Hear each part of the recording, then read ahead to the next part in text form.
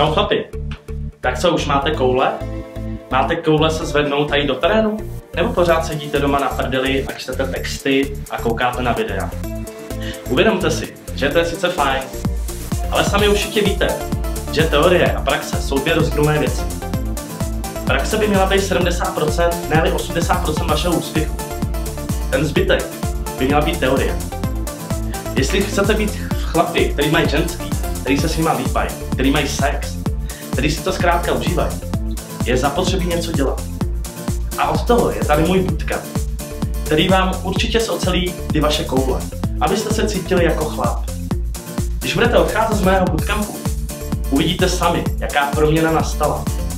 Uvidíte, že je to o odvaze, že je to o té hravosti a zkrátka o té vášni k tomu sexu. Že víte, co chcete a jdete si za tím. Takže chlapi, budete sedět doma na zadku, nebo půjdete se mnou ven a budete pořádnými muži, kteří se budou zdokonalovat. Který já naučím, jak opravdu být ten chlap, který umí říkat ne a ženy ho chtějí.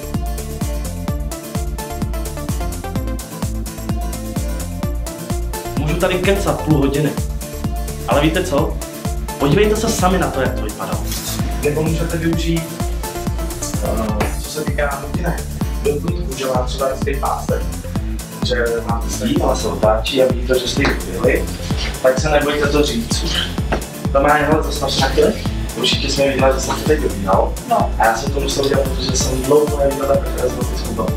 Tak to pak přiznal, že tě na Cokoliv. Neříkejte jí hned, že je krásná, nebo že chcete jít na rande s no, toho člověka víc otevřeli, tak samozřejmě ptát se ho hnedka na něco velice osobního je dost, dost divný, tak můžete začít na své straně. Prostě prozradíte na sebe něco, co ví třeba málo kdo.